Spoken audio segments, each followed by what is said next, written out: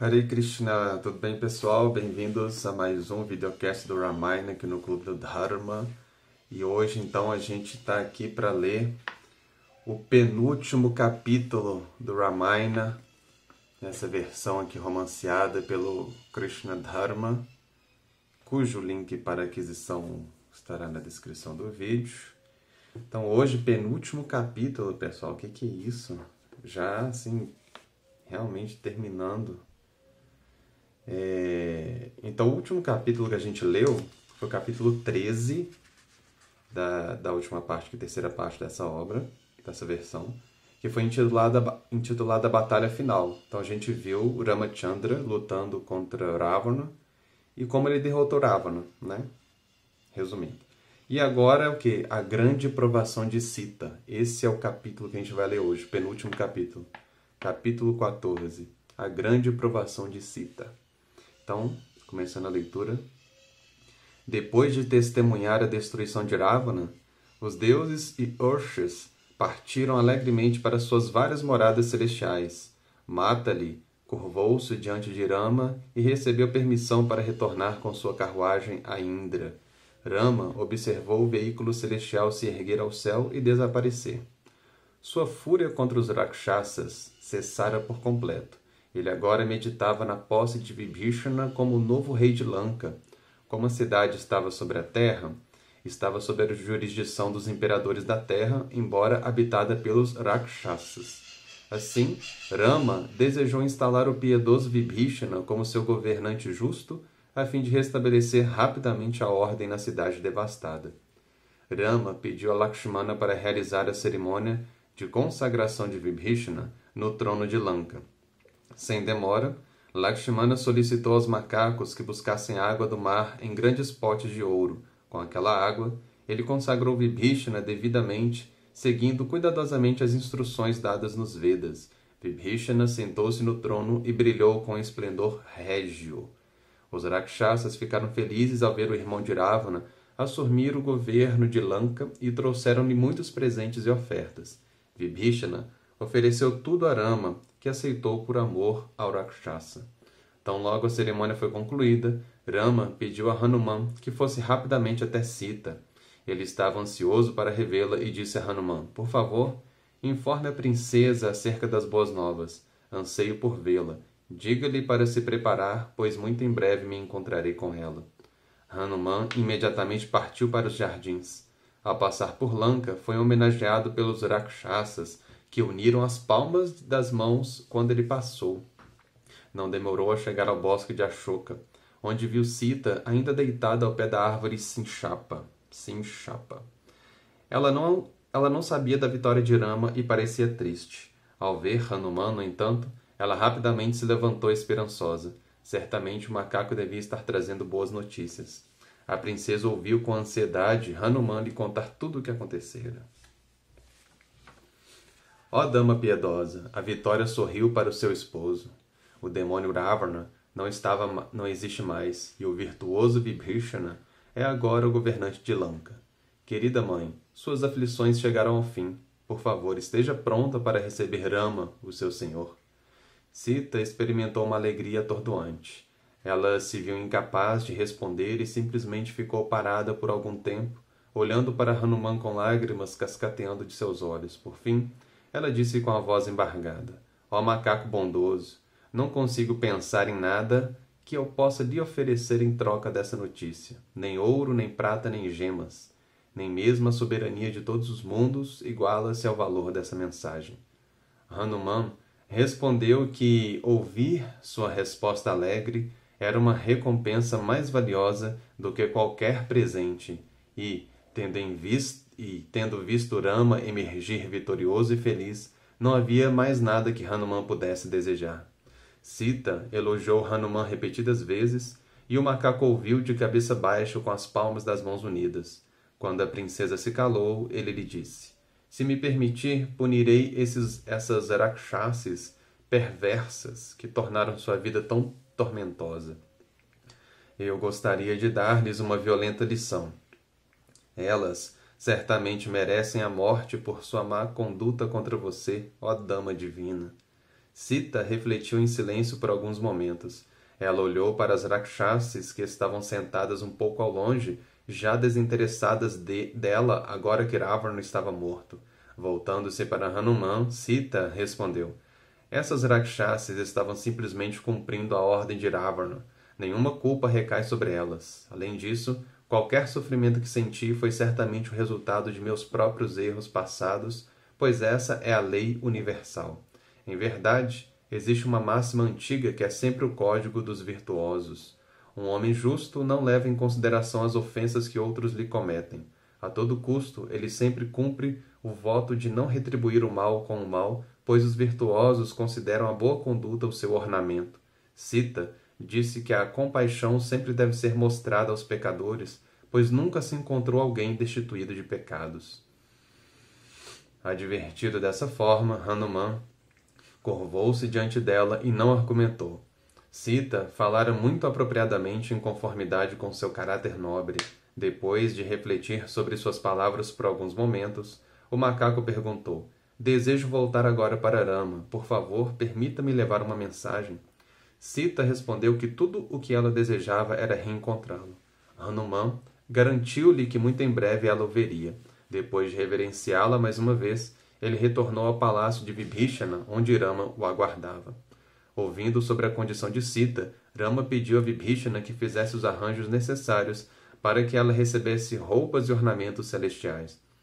Ó rei dos Rakshasas, por favor, providencie que a princesa seja banhada com bálsamos celestiais e receba primorosas vestes de seda. Então, conduza a princesa até aqui meu coração arde com desejo de reencontro.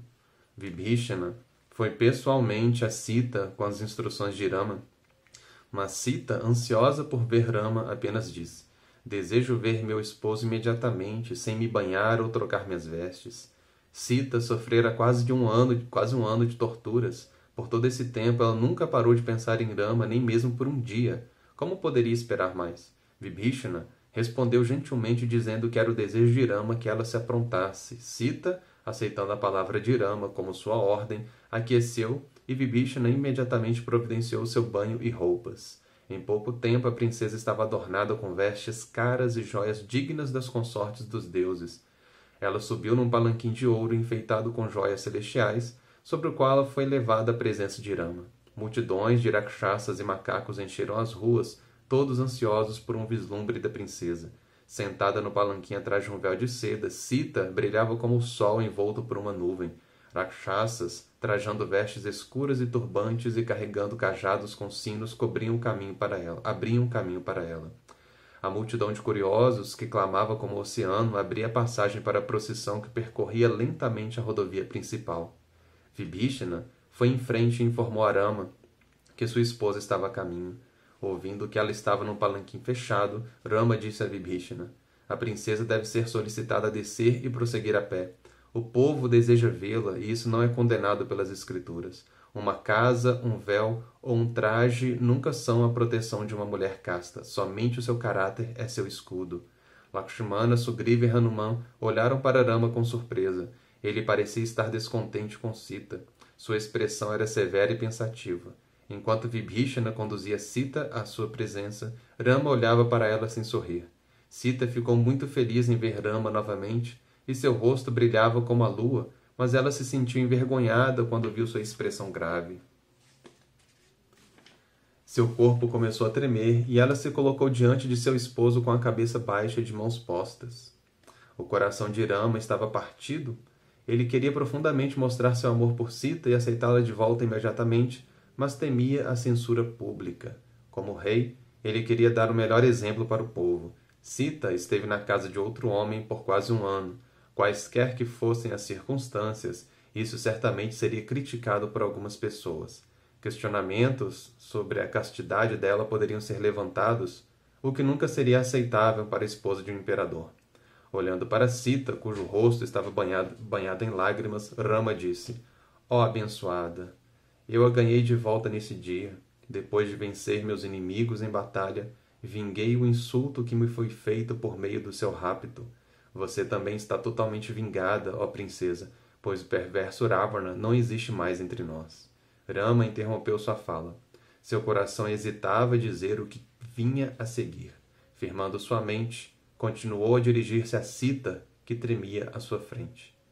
Agora que limpei a mancha do insulto em minha casa, em minha nobre casa, e estabeleci minha veracidade e determinação, não me resta mais nenhum a fazer no tocante a este assunto. Ó gentil dama, não realizei esse esforço pelo desejo de tê-la novamente como minha esposa. Você morou por muito tempo na casa de outro. Como então posso levá-la de volta para minha casa? Seu bom caráter se tornou suspeito. Ravana apertou você em seus braços e olhou para você com olhos de desejo. Diante dos acontecimentos, não tenho mais nenhum apego por você. Por favor, vá para onde desejar. Talvez você possa encontrar abrigo em Lakshmana ou Bharata ou Shatrugna, ou mesmo em Vibhishana. Tão linda como você é, ó Sita, como Ravana poderia ter deixado você sozinha? Sita ficou em choque.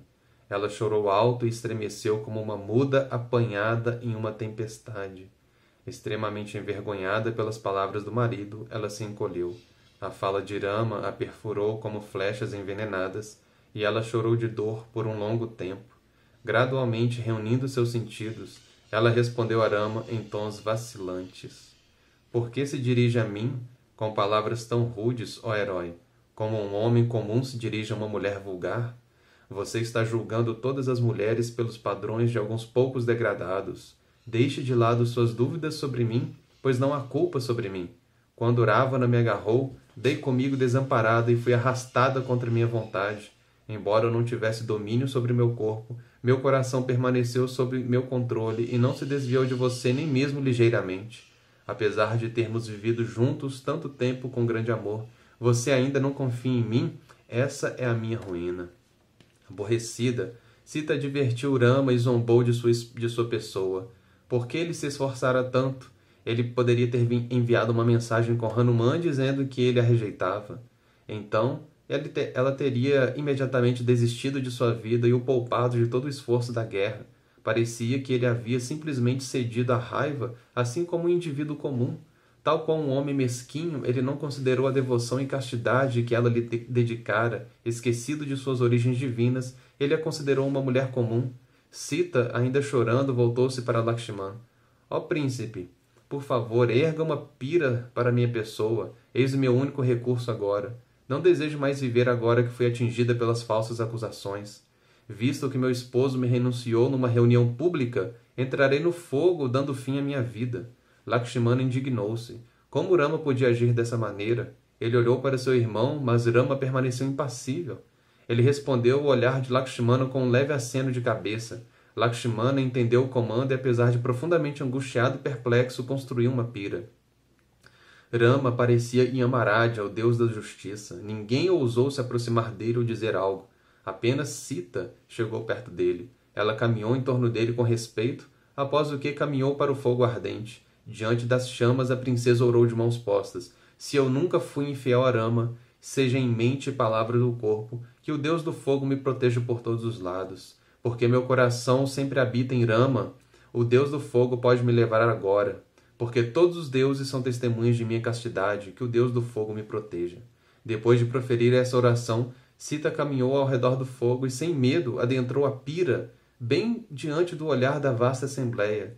Sita aparecia em um altar de ouro com seu fogo sagrado. Deuses, Urshas, Gandharvas, Siddhas e outros seres divinos observaram Sita caminhando profundamente para dentro do fogo enquanto todas as mulheres na assembleia gritavam. Sita parecia uma deusa caindo do céu para o inferno.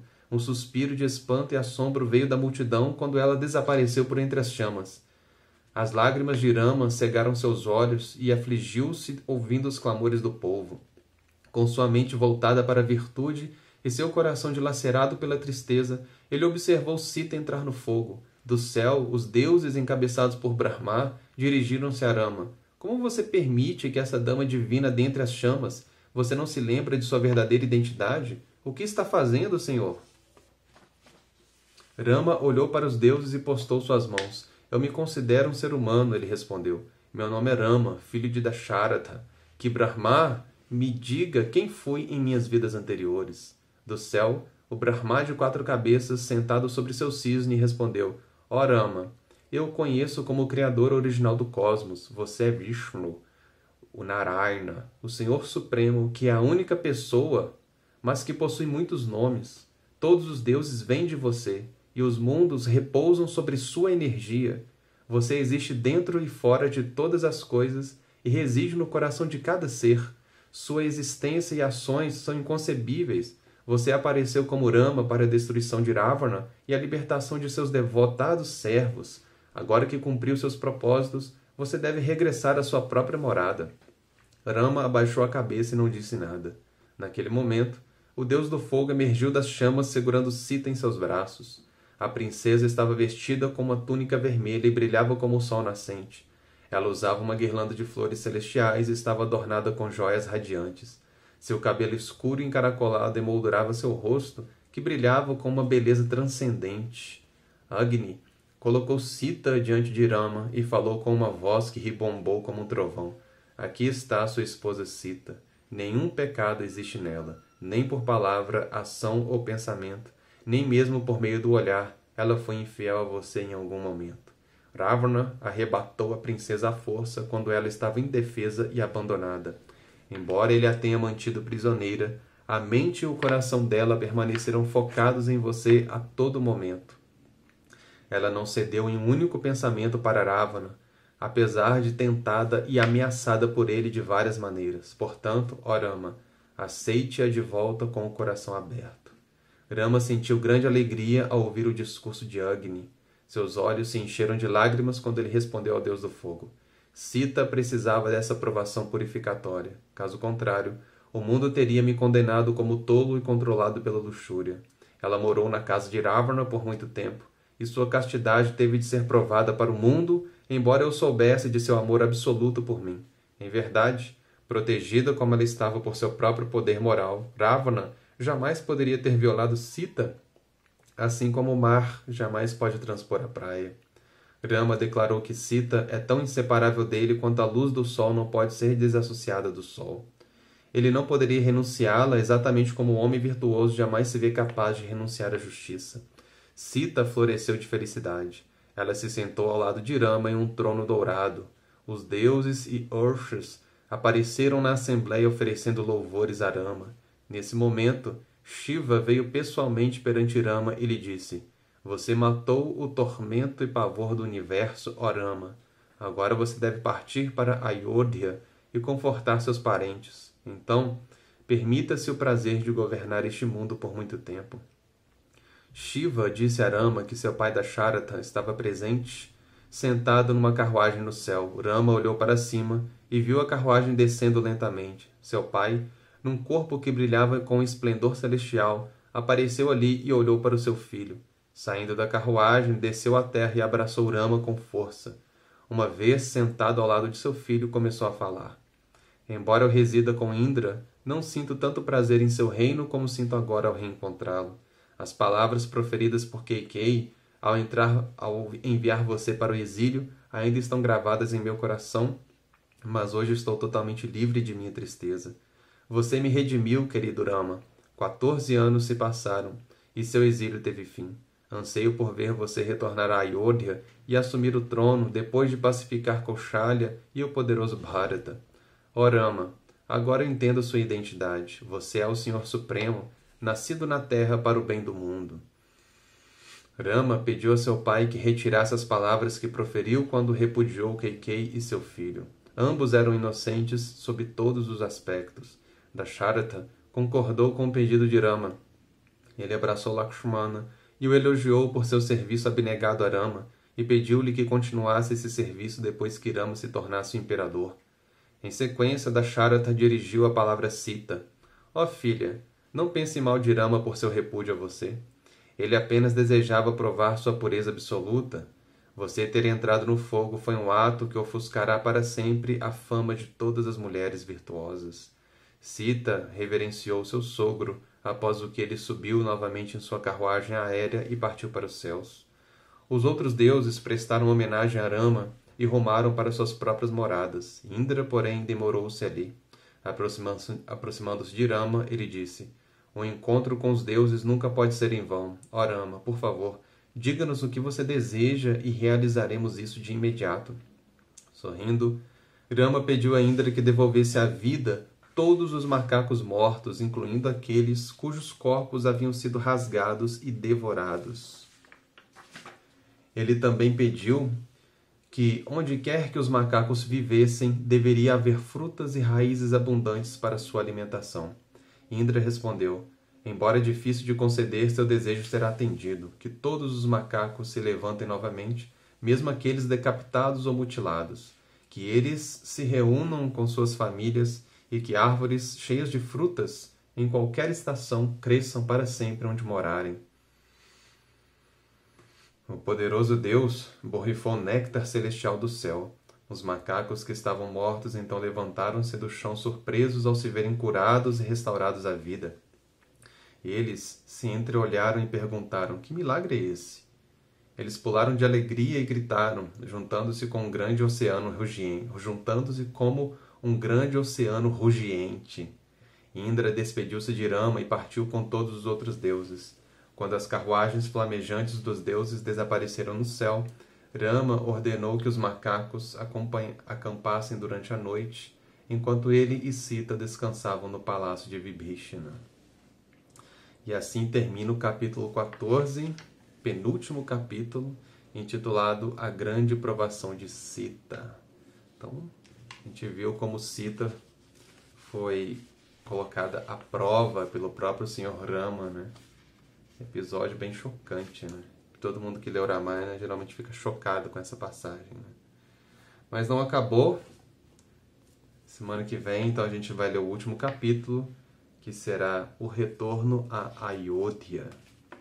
Então é isso, pessoal. Até a próxima. Raghupati Raghava Rajaram Patita Pavana Sitaram Hare Krishna